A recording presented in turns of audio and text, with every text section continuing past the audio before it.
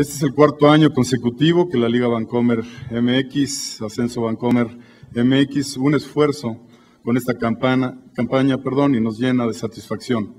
Porque el fútbol, además de ser un deporte, es un vehículo para unir a familias, amigos, para convivir de manera sana.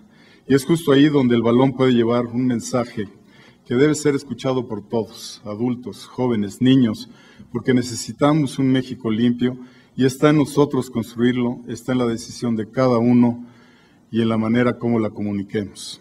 El balón especial que estamos develando rodará en las canchas la próxima jornada 17 y última de la Liga Bancomer MX y a lo largo de toda la fase final, incluyendo los partidos que disputen el título.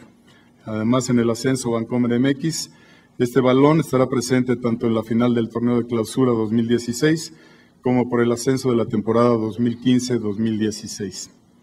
Y antes de terminar, me gustaría de manera simbólica entregar el gafete de capitán conmemorativo de la campaña Limpiemos nuestro México a don Ricardo Salinas, a quien agradecemos su confianza en el fútbol mexicano y a quien le reiteramos nuestro compromiso en el desarrollo de esta iniciativa.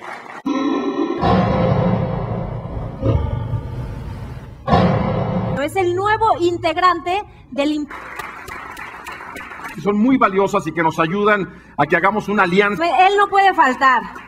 Tenemos nuestro capitán de Limpiemos Nuestro México. Por supuesto, capitán de 8 Milente con la música. Les pido un aplauso para Y también en la final por el ascenso al...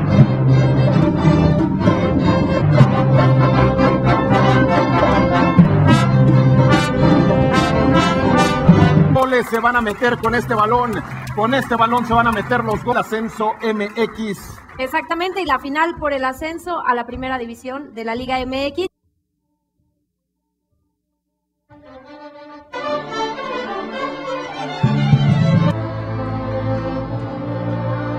Eh, disculpa, pero no se vende alcohol en los estadios, lo que hay es bebida de moderación y no es eh, no se vende no se vende bebidas alcohólicas. El, problema eh, que se ha suscitado va más allá de una de la venta de la cerveza es, eh, son grupos de desadaptados que, que no entienden que el fútbol es familiar, que no entienden que nuestra afición quiere ver un espectáculo y que, y que vamos a seguir eh, trabajando con las autoridades de los diversos estados para lograr que nuestro fútbol sea familiar. Son situaciones que se dan en el caso de Jaguares, como ya lo comenté también en el pasado, es un problema de flujo. En el caso de, Dorados están al día, Repito, mañana hay una reunión donde se va a aclarar todos esos puntos, eh, pero hasta donde la información que tenemos en la liga están, están al día en sus pagos. Hay un compromiso por parte de la, de la directiva, ustedes conocen la seriedad de la directiva de Tijuana, en la cual el último pago se hace este próximo viernes. Por lo tanto, el que está, lo que está pendiendo es esa última parte a, cumplirse el próximo viernes, eh, hasta donde nosotros tenemos la información repito, mañana en esa reunión tripartita pues quedará todavía más claro este punto.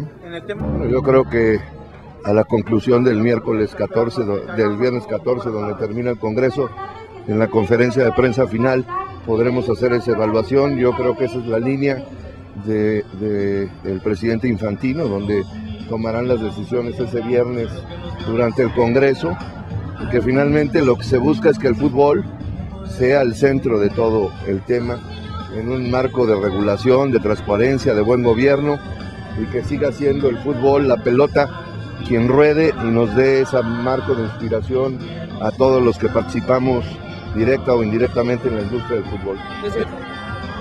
yo creo que son dos cosas diversas, pero todo suma. Yo creo que el abrir nuestras puertas y nuestra infraestructura a, más de mil delegados de 2.209 países, pues muestra una cara de México importante.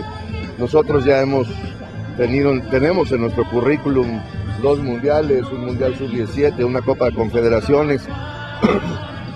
La FIFA sabe y el mundo sabe que, que sabemos hacer, eh, que sabemos organizar, que tenemos la infraestructura. Esta ocasión es para recibir a todos los delegados de la FIFA, lo otro en su momento será tratado. No, no, yo este congreso es para recibir para abrazar, para sonreír, para mostrar una cara de México. En ninguna parte está escrito que es para presentar ofertas de ningún tipo. Mucho después, cuando la FIFA abra esa ventana. Esto es un congreso, reitero, de la FIFA para sus 209 delegados.